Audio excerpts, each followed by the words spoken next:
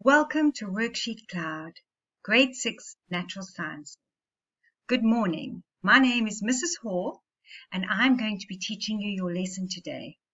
If you have a question during the lesson, send an email with your question to grade6 at worksheetcloud.com. Let's get started. Today's lesson is on separating mixtures. There are a number of different processes that we use to separate mixtures. How do we go about this? Well, when some materials are mixed together, it is possible to separate the mixture and get the original materials back again. There are several different ways of separating mixtures. The best processes to use depends on the type of mixture that you are going to be separating. And today's lesson, we are going to be looking at evaporation and condensation, magnetism, filtering, sieving, decanting, and hand sorting. Are you ready, grade sixes? Let's get going. What is a mixture?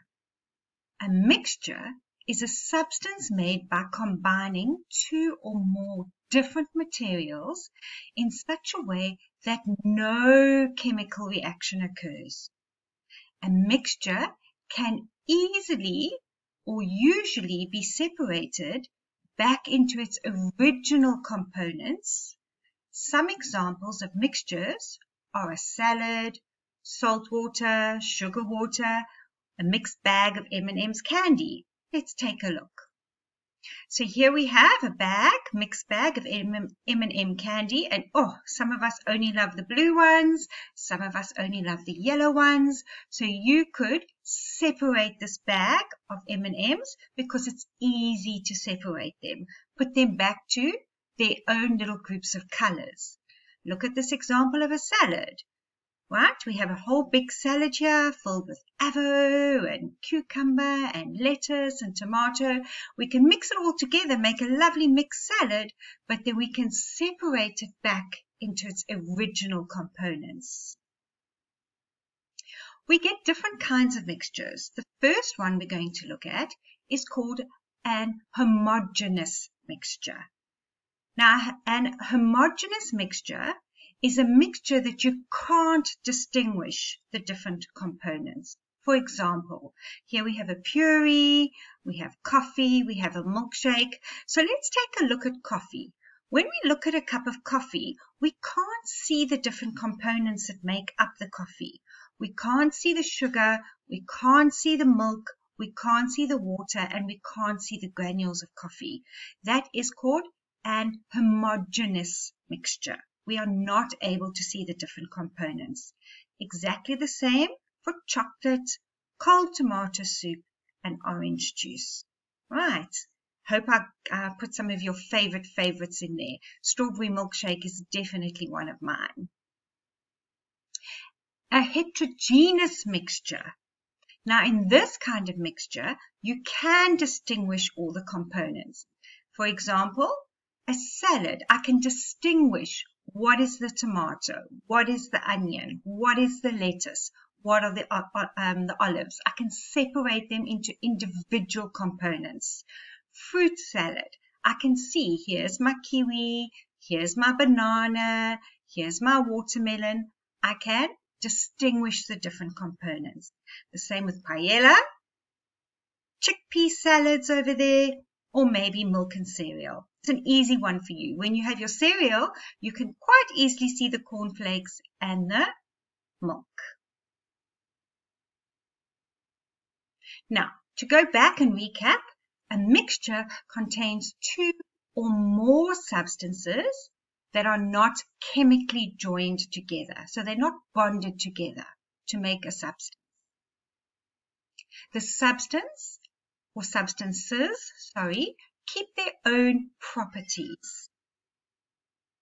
You can usually or easily separate them using physical methods. Let's take a look at our first method, filtering. The definition, the scientific language that you need to know at the end of this lesson would be as follows. To separate a liquid and a substance by pouring it through a, material like filter paper or a mesh fabric. Let's take a closer look at filtering. This process should be used to separate a mixture of an insoluble solid. Now, an insoluble solid is something that is not able to dissolve in water. We say it is insoluble. So we take a mixture of an insoluble solid, something like sand that can't dissolve in water, and a liquid. A funnel is lined with filter paper and placed over a beaker. The mixture is poured slowly into the filter paper. So if you were in class right now, you would have been given a funnel and a piece of filter paper, and we would actually be filtering um, different mixtures. Now, insoluble solids will not have dissolved in the liquid, like I said earlier, and we're using, using the example of sand here. The solid particles will not be able to get through the, the tiny little holes in the filter paper and they will be caught up in it over here. The liquid particles will go through the filter paper into the beaker below over here. This process could be used to separate a mixture of sand and water.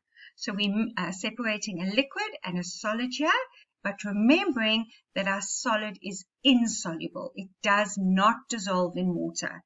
If we had a soluble material that dissolved in water, filtering would not work for us. Now, a little bit of homework for you to do. You would have done this in class. Is a home project. Do it yourself this time. You're going to take a two litre Coke bottle. You are going to cut it in half. Please ask for parental help. Do not do this on your own. Ask mom or dad to help you cut the, the two litre bottle in half. Could be a water bottle, any kind of bottle. Doesn't have to be Coke. And what you're going to do is, can you see over here, the bottom half of the two litre is over here. And this part here, if you turned it around, would be the top part. You take the top part, you turn it upside down, and you put it into the bottom half so that you've got over here the um, where you drink from, the, the mouth part over there, facing inwards into the bottom of the two liter Coke bottle. Right? You're going to start, obviously, by putting an elastic band or a piece of um, cloth over here in the mouth part, and you can um, use a cloth or cheesecloth or even if you have filter coffee, those filter coffee um, papers, you could even use that here, put it in here if you wanted to. Um, but the easiest is to just take an elastic band with a piece of cloth and tie it over here, the mouth part. On top of that, you're going to put some very fine sand particles. So you go look for it at um, in your garden. Um, if you have a sand pit, that's the best place to look. You will then put a layer of coarse sand. It's slightly thicker, slightly bigger granules of sand than fine sand. And then go through your garden and look for tiny little pebbles or um, rocks. Something like that. And grade sixes, you then make yourself a lovely mixture of sand and water, dirty sand and water, and you pour it through your homemade water filter and the water should come out clear at the bottom of your empty two litre bottle. Lovely little project, easy to do, enjoy it. Our next scientific definition we're going to look at is evaporation. Evaporation is the process of a substance in a liquid state changing to a gaseous state. Now you know what these terms mean liquid state to a gaseous state due to an increase in temperature. Let's take a look at evaporation and condensation. Right, number one. This process is best used to separate solutions. Okay, this is mixtures in which a solid has dissolved in a liquid and you can no longer see the solid and the liquid. They've been soluble, they've dissolved, the solid is dissolved into the liquid. You can't tell them apart. As the solid has dissolved in the liquid, filtering, like I said earlier, would not separate the two materials. The solid particles would go through the filter paper along with the liquid. You wouldn't be able to tell them apart. When the solution is evaporated, either through boiling or by being left in a warm place outside on a windowsill, the liquid will turn into a gas and leave the solid behind.